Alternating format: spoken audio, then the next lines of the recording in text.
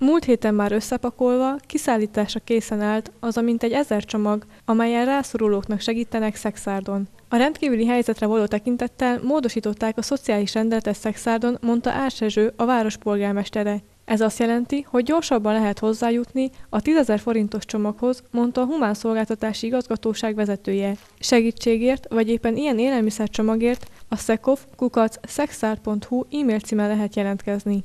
De más támogatási formákkal is segítik a rászorulókat ezt a lakhatási támogatást, hogyha lejárt az egy éve, nem kell megújítani most a veszélyhelyzetre tekintettel, hanem automatikusan továbbra is utaljuk mi ahhoz a szolgáltatóhoz a, az összeget, ahova kérte. Tehát egészen a veszélyhelyzet megszüntéig ez automatikusan továbbra is utalásra kerül, függetlenül attól, hogy ez bár lejárt.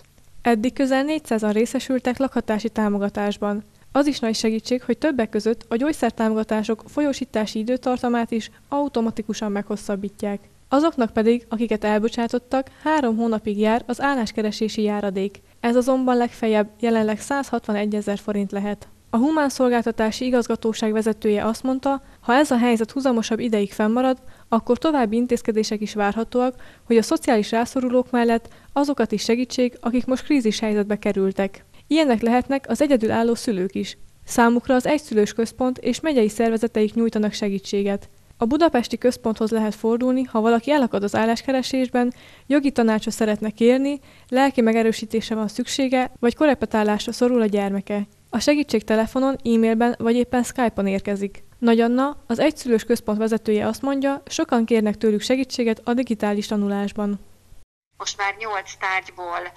gyakorlatilag mindenféle korosztályjal tanulnak együtt, és ez, ez nagyon népszerű. Tehát részben azért, mert a gyerekeknek segít ebben a megváltozott tanulási modellben, amiben most belekeveredtek, másrészt pedig a szülőknek is sokkal könnyebb, hiszen nem kell a gyerekkel tanulni, nem kell felkészülni a gyerek óráira, és addig az, az alatt az egy óra alatt a saját maguk dolgát tudják intézni.